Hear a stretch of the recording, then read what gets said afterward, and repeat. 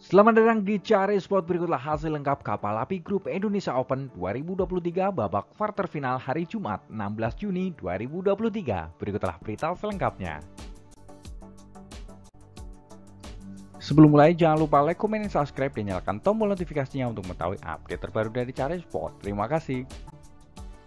Dimulai dari sektor tunggal putra, tunggal putra Cina Li Shifeng melaju babak semifinal setelah mengalahkan tunggal putra asal India Kidambi Srikart lewat pertarungan 3 game 21-14, 14-21, 21-12.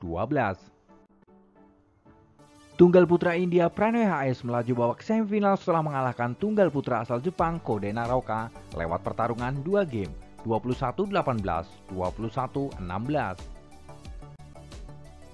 Tunggal putra terbaik dunia saat ini asal Denmark Victor Axelsen melaju babak semifinal setelah mengalahkan tunggal putra asal Cina Taipei Chao Tin Chen lewat pertarungan 2 game 21-5, 21-19.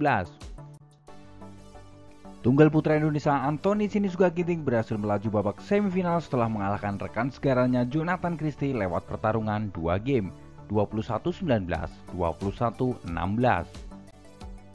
Bergeser ke sektor tunggal putri, tunggal putri Spanyol Carolina Marin melaju babak semifinal setelah mengalahkan Tai Zuying dari Cina Taipei lewat pertarungan 2 game 21-18, 21-13. Tunggal putri Thailand Ratanok Intanon berhasil melaju babak semifinal setelah mengalahkan unggulan pertama asal Jepang Akane Yamaguchi lewat pertarungan 3 game 18-21, 25-23, 21-16. Tunggal putri Cina Chen Yufei berhasil melaju babak semifinal setelah mengalahkan tunggal putri asal Korea Kim Gaan lewat pertarungan 2 game 21-11, 21-19. Tunggal putri Korea An Seong melaju babak semifinal setelah mengalahkan tunggal putri Cina He Bingjao lewat pertarungan 3 game 21-18, 19-21, 21-11.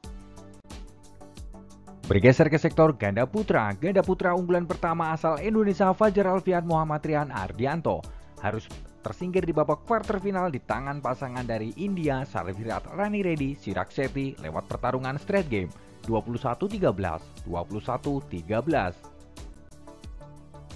Ganda putra Malaysia Aroncia Sowuyik melaju babak semifinal setelah mengalahkan pasangan dari Jepang Akira Koga Taichi Saito lewat pertarungan 2 game 21-10, 21-15.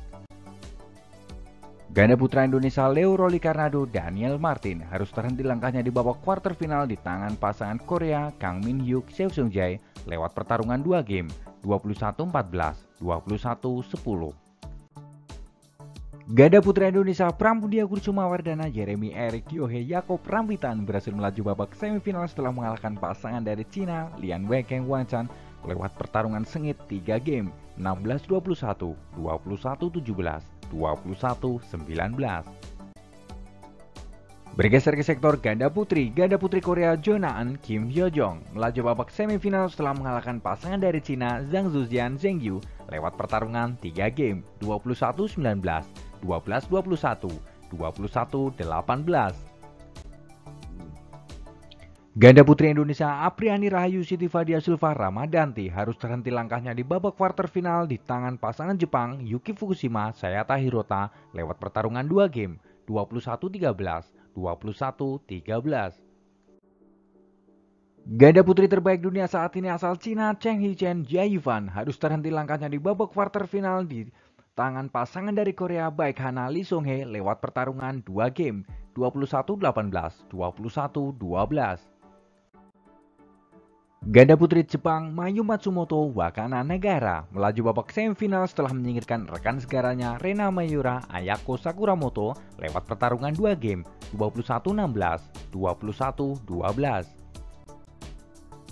Bergeser ke sektor ganda campuran, ganda campuran Hong Kong Tan Chun Mang, Xie Ying Sweat melaju babak semifinal setelah mengalahkan pasangan Belanda Robin Tabling, Selena Pick lewat pertarungan 3 game 21-15, 23-25, 21-18.